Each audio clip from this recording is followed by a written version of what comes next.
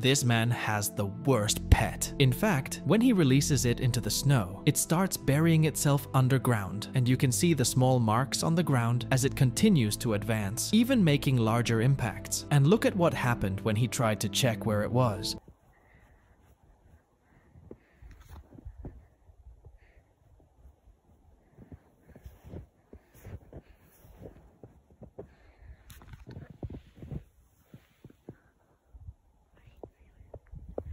It disappeared, but reappeared. Will you be smart enough to know what animal it is?